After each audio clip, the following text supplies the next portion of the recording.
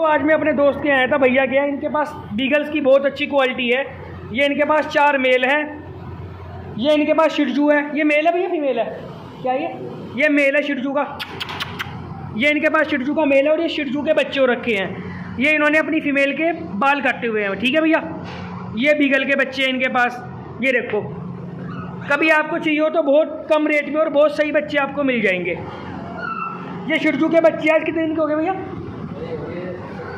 अट्ठारह दिन के बच्चे हैं ये आज।